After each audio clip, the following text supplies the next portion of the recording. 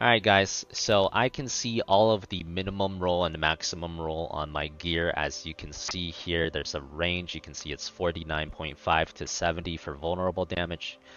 This is a tip for beginners. If you do not know how to do that, you go to your options.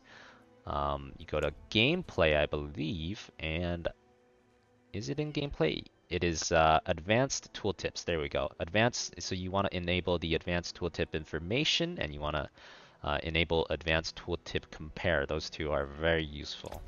And that would be how you see the weapon ranges.